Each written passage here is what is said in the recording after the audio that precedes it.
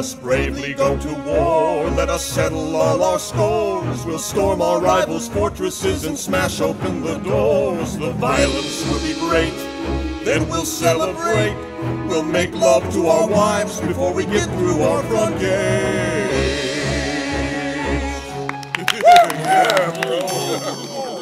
I don't think so. Not happening. If you won't lay off the fighting although it seems exciting, there'll be ramifications. If you don't come home this week, you'll soon notice effects. You and other Greeks will no longer have sex.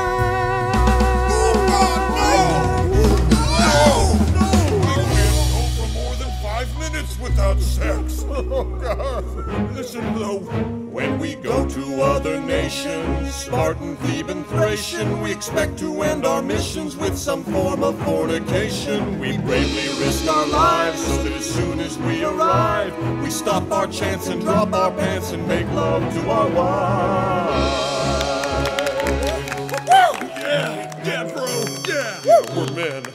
That's not happening. We appreciate your bravery at the battle lines you've drawn. But this war's become unsavory, so our clothes will stay on. We're not going to recant what we've already divulged.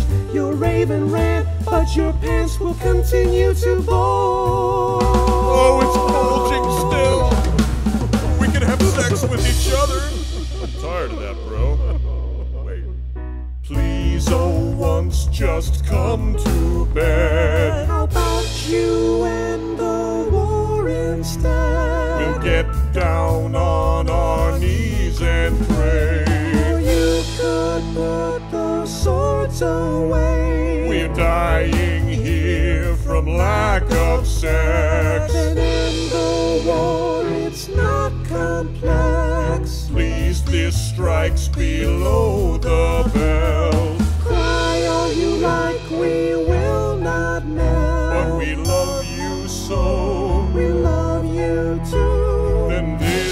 Is what we're gonna do. We'll get a peace agreement drawn, then we'll all go home and get it on. There you go, how hard was that? Well, it's still hard. But at least this spat Has ended with us here in the Lysistratosphere with hope and joy and peace from our hands.